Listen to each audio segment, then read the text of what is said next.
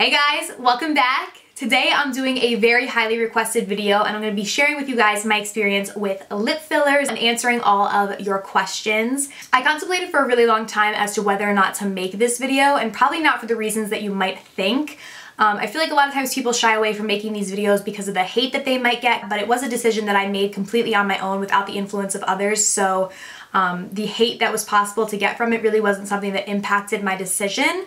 I just would never want anyone to watch a video of mine kind of explaining my experience with lip fillers and then be like, oh, well, since Kelly got them, now I have to go get them. Like, I would never, ever, ever want that to happen. I also think there is a fine line between giving information on a subject and sharing your experience versus glorifying something like cosmetic procedures, which is a serious thing. That's kind of why I was like, I don't know if I should make it, but I got so many people asking me to make it, and I specifically, before I got my lips done, watched so so many videos just like this of some really big YouTubers, some small YouTubers, like literally so many different people just sharing their experience with lip filler. So I had more education and more knowledge going into the procedure of like what to expect. I think that's really important. I did so much research on it before even deciding that it was something that I personally wanted to do. With that being said, I know not everyone likes lip fillers. I know not everyone agrees with it. If you hate them, you don't think I should have gotten them, you don't like that I got them, that's totally fine. That's your opinion and you're 100% entitled to that. So just click the X right up there and watch one of my other videos. I have so many other videos on my channel that have absolutely nothing to do with this. This is the only video that has anything to do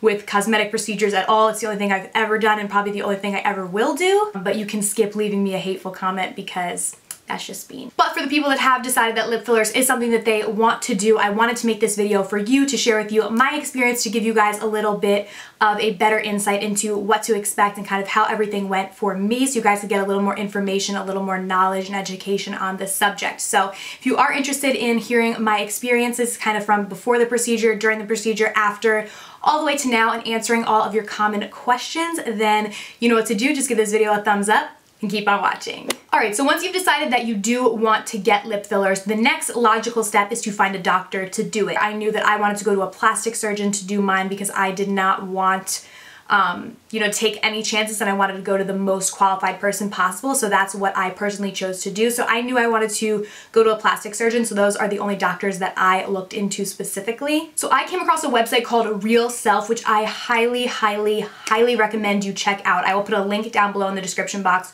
to Real Self where you guys can check it out. But basically it's the largest online community where people can go on and write their reviews, testimonials, before and after pictures of anything that has to do with like cosmetic surgery It's literally like a Yelp for cosmetic surgery and for finding doctors. So you can go in there and basically put whatever you want. So we'll say lip injections, for example, or lip fillers, and then with your area, so we'll say New York City, and a list of doctors will come up, and then there'll be all these people that wrote reviews. They shared their own personal before and after pictures and gave their testimonials about the doctor. And more than 9 million people visit Real Self every single month to do research on doctors and kind of see whether or not it's worth it to get it done. And I highly, highly recommend Real Self, like I said, because, you know, you can go to any doctor doctor's website and of course they're going to make themselves look good. They're only going to handpick the best before and after pictures and the best testimonials and kind of delete anything that's bad off of their website because they want it to look great. But on Real Self, you know, you're getting real people's pictures, real people's opinions, real people reviews. So I find it to be a lot more trustworthy and you can really make sure that you're going to somebody who is great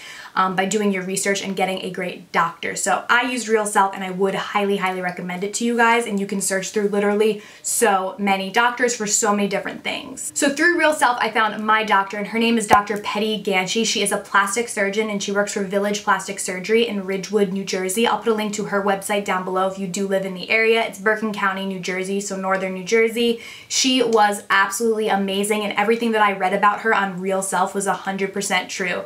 So many people were saying that she has really good bedside manner, which is so, so true and very important to me in finding a doctor of really any kind, whether or not I'm just going for like a checkup or if I'm going for something like lip fillers, like I want a doctor to make me feel comfortable and she did a great job at that. I was so nervous, you guys, because this is the only thing I've ever done like as far as cosmetic enhancement or anything like that goes in my life and I was so so nervous because I you know I don't know it's just it's nerve-wracking it's your face you know? So I was very nervous she calmed all my fears she was very professional and her office was so so beautiful so clean which is so important to me like oh my god if I go into a doctor's office and it's not clean I'm like get me the hell out of there. But her office was beautiful very clean her whole staff was very professional and overall it was just a really great experience there. So definitely do your research when it comes to finding a doctor. Don't just go to somebody because they're cheaper or, you know, whatever it might be. Like, do your research because ultimately, like, your face, your lips are going to be in their hands. So you want to make sure that you are completely comfortable. So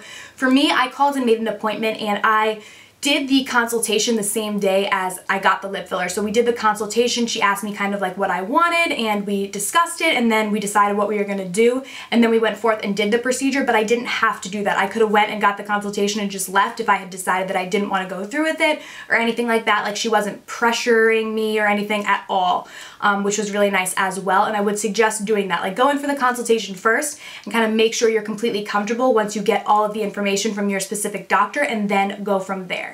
So what we basically discussed in the consultation is what I wanted. I told her, like I told you guys, my top lip bothered me since it was a lot smaller than my bottom lip, but I didn't, I wanted my top lip to be bigger, but I didn't want it to be bigger than my bottom lip.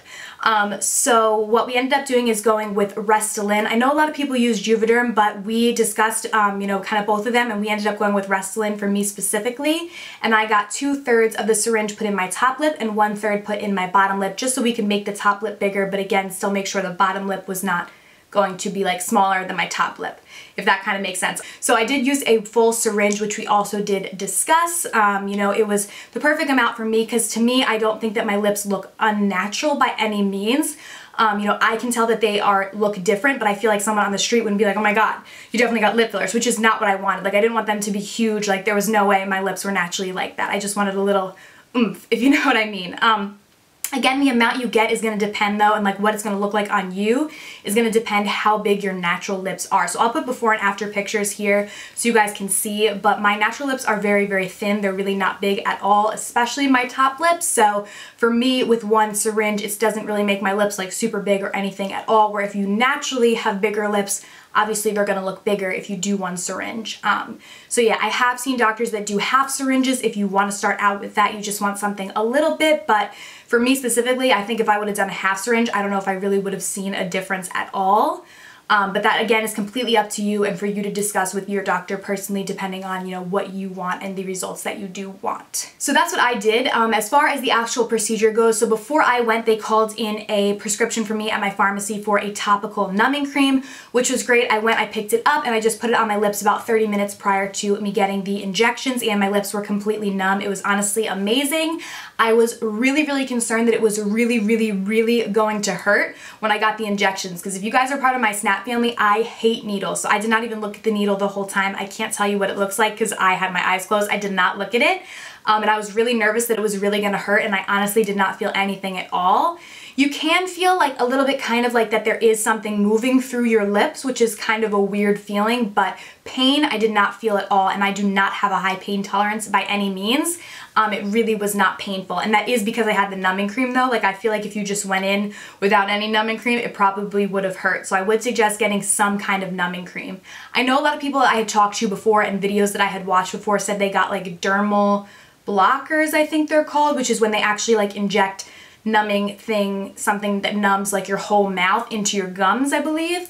I did not do that. Again, that's just another needle. It wasn't something that I ever really wanted to do, so I didn't even ask about it. The topical numbing cream was a-okay by me, and it really alleviated any pain that I had, so that was perfect for me. As far as the actual procedure, it didn't take long at all. I think tops I was in there for maybe 10 to 15 minutes and then I did sit in there for a little bit after just to ice it, um, like right after, but you know, like the actual procedure is super, super short. Like it's nothing long at all.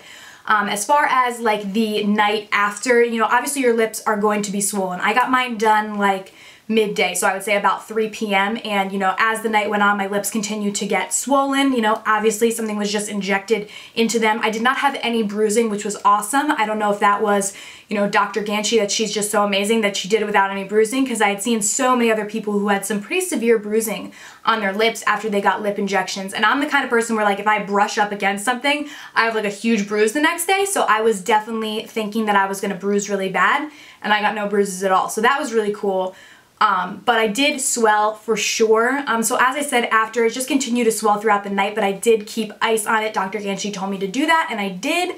Um, I do think that that helped with the swelling, but then when I went to bed, obviously I didn't have ice on it for like maybe eight, nine hours, and then when I woke up the next morning, my lips were so swollen the next day. Um, also because I had been sleeping, obviously, you know, so I was down like this, which would cause more swelling. Um, So the next morning was really the only time that I had any kind of pain. It wasn't anything significant, but you know, my lips were definitely swollen. They were definitely sore at this point. Um, and obviously like no numbing cream or anything was still left on my mouth. So, you know, it did feel sore. So to me going in, I never even thought of the fact that like maybe it could be painful after the like after it was over, like I kind of only thought like, oh, the only time it would be painful is like when you actually get the injections and then when I didn't have any pain, I was like, oh my god, this is perfect. Like this is literally painless. But the next morning I definitely did have pain. Like I said, it wasn't like I was, you know, unable to do anything or anything like that, but my lips were certainly very, very swollen. It'd be like if any area of your body was swollen and, you know, it's kind of sore, like that would be the pain and how I could kind of explain it to you guys. I would say like on a scale of 1 to 10, maybe like a 4. Um, but that pain actually got drastically less pretty quickly. Like throughout the day, by the time I went to bed on the second night, I didn't have any pain at all anymore. My lips were still very swollen, so I didn't really see the swelling going down, but the pain really only lasted, I would say, maybe five, six, seven or so hours after I had woken up the day after. Um, you know, like the kind of soreness, but after that, I kind of really didn't have any pain at all, but they were still definitely swollen. I kind of felt like I had like two little tic tacs like right underneath here. I don't know, it's kind of a weird feeling and I did really have swelling until about a week after. That's when it was completely kind of normal where I wasn't really swollen at all anymore. But I would say after about three days, um, the swelling had gone down significantly. Like my lips really looked pretty normal, but the swelling completely stopped, I would say, after about a week. So if you are considering getting it, do not schedule anything for like at least two days after. Like certainly not the day after you get the injections. Do not have anything important to do that day. Um, because your lips are going to be really, really swollen. Like, honestly, like, even if you work full time, like, during the week, I would try and get your injections on a Friday so you don't have to work worry about like work the next day because um, your lips are certainly going to look really swollen. So make sure if you have anything big going on, leave yourself at least two to three days um, until you have like some type of big event. If you're getting married or something, girl, get your lip injections like two weeks before just to be sure. But um, you know, as far as like downtime from really doing anything, the day that I got the injections, I didn't go to the gym, which is a big thing for me because I do go every day. Um, and I honestly probably could have, I just didn't because uh, I was like, eh, you know, I don't know. But I went the next day. I did basically anything. Like I was completely fine. Um, there was no like really downtime. It was just that my lips visibly looked swollen, and I did keep icing them probably for about three days after. Um, you know, not like completely like all every second of every day, but on and off I would just put some ice on them so the swelling could go down. But really overall that was the worst part of the whole experience was the swelling and it really wasn't that bad. So there really wasn't any negatives. Like I said, I didn't have the bruising, which was really, really great. My lips, in my opinion, came out really well. She basically did exactly what I asked for was to not overdo them, but still, you know, give me a little something, make them a little bit bigger, and I do really like them. I am really happy with it. Um, as far as other questions that you guys asked me, trying to see. The number one thing was definitely the pain. And then people also asked me um, about price. Now this is really hard to give you guys any kind of quote of how much you guys are going to pay because it depends on so many different things. Like I said, you do not have to go to a plastic surgeon like I did, although I would recommend it. I would never recommend picking the doctor that you choose to go to based on price because um, like I said, ultimately like your lips and your face are going to be in their hands. So you want to make sure you go to the best doctor possible, regardless of how much it's going to cost. Like save up for it. Don't try and like save some money and uh, go to someone who's cheaper because if they're cheaper, you kind of have to wonder why. Um, and that's not to say that you should go and go to the highest price one either. Like go to the doctor that you feel most comfortable with. I wouldn't use price as a determinator in between. Is that a word? I don't know. As a determinant, maybe? I don't know, in between which doctor you want to go to. Um, so as far as price goes, like I said, it's going to be determined on what kind of doctor you go to. Like, are you going to a nurse, a med spa, a plastic surgeon, a doctor, like it's gonna be determined on, I'm sure, that. It's also gonna be determined on the area that you live in. I live in New Jersey, close to New York City, so everything here is expensive and more expensive than other places. I would assume that if you get lip injections in like Missouri or somewhere, it's probably gonna be less expensive just because everything is so expensive here. Also the product that you get as well. Um, there is different prices for different fillers like Juvederm and Restylane, which I got, are not the same price. They're different prices, so it's really going to depend, and also how much you get. So I got one um, syringe, which is, I believe, 1 ml. I've seen as low as half syringes that some doctors do, and then you can get way more than one, obviously. Probably no more than two in one sitting, I wouldn't think, but I don't know. Um, so it's going to depend on how much you get as well. So I would say on the low end, the lowest I've seen was for about a half syringe. And again, this is in my area, which is expensive. Um, but the lowest I think I saw was $450, where the highest I saw was about $800 for one syringe. I would say kind of mid-range is anywhere between five to like $650 is kind of like middle of the range for one syringe of product. Um, and that's what I saw with most doctors, but it is going to depend on so many different factors, so I can't tell you specifically how much you are going to pay. Um, my best advice is to do research, email different doctors. You can call them. They might not want to give you a quote over the phone or through email. They might want to see you, so you can go in for a consultation and just decide, you know, which doctor you like, and they'll give you the pricing there for sure. So yeah, that's as far as price goes, that's basically the best that I can do to tell you guys how much it might cost. Another question that I actually got really often, which I kind of thought was weird at first, was what does Steven think? A lot of people actually ask me that, and the first person that asked me that, and I don't mean this in a disrespectful way to Steven at all, but I was kind of like, who cares what he thinks? Like, this is me, this is my face, this is my lips, so if he doesn't like it, too bad. Like, he shouldn't be the one making the decision or making my decision on what I'm gonna do with my body. Like, either he supports me or he doesn't and it is what it is. Like, I don't know, I just kind of was like, who cares? And again, I really don't mean it disrespectfully, but um, as far as that goes, Steven is my ride or die. He is such an amazing person and he pretty much supports me in absolutely everything that I do as long as I'm not breaking any laws and, um, you know, I'm not doing anything that's illegal. He's like, let's do it. Like he is very, very supportive. Obviously he was like, you know, that classic boyfriend who's like, oh my God, no, like why do you need to do that? Like you look perfect the way you are. I love you the way you are. You're beautiful, blah, blah, all that. My parents did the same spiel. Um, but ultimately he was like, okay, you know, if it's something that you want to do, then I'll support you 100%. Let me know when the appointment is and I'll drive you there so you don't have to worry about driving when you're stressed out. And that's exactly what he did. So yeah, he's very, very supportive of me in pretty much anything. So he was like, you know, if it's something you want to do, who am I to tell you not to do it? So I'll support you. And my parents were pretty much the same way. Like, again, they were kind of like, well, why are you gonna do this? You're beautiful the way you are, like blah, blah, all that stuff. But, you know, ultimately they're like, listen, it's your lips, do what you want. um, so yeah, they did both support me in it, which was nice, you know, to have the supporting of them, but ultimately I think I would have done it regardless because it was a decision that I made on my own without the influence of others. And, you know, once I make my decision on something, is done. Um, so yeah. As far as how long they last, I got a lot of questions about that as well. This is determined on a lot of different things, but basically it's gonna end up with how fast your body breaks it down, how fast your body metabolizes the actual product. So don't quote me on this, but I believe filler, at least Juvederm and Restylane, are hyaluronic acid. I believe that's what it's called. Um, and that's actually naturally found in your body, which makes them not permanent because naturally your body breaks them down. So it all depends how fast your body is going to break down the filler, but you, I've seen quotes anywhere from three to about six months as the longest that it will last. Um, I think I've seen some places that said eight, but then I've read other things that says no, it's really not gonna last that long. Maybe like a teensy little bit might be left.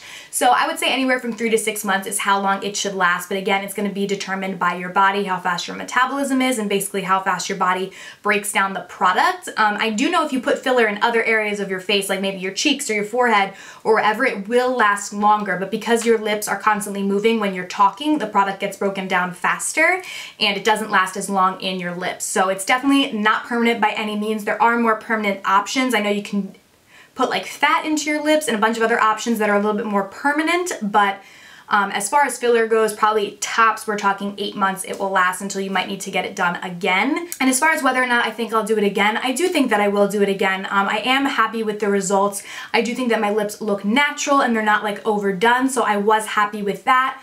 Um, and you know, overall I do think that I will do it again because I did, you know, like how it turned out and I really did have a overall very positive experience with it. So I think that answered all of your questions. Hopefully I did. I hope that you guys did enjoy this video and it gave you guys a little bit more insight into the procedure itself and kind of everything that, um, you know, I experienced while going through it. And thank you guys so, so much for watching. It means the world to me. Be sure to give this video a thumbs up and subscribe to my channel if you have not already so you're notified every time I post a new video. And yeah, thank you guys so much for watching. I'll see you very soon in my next video. Bye.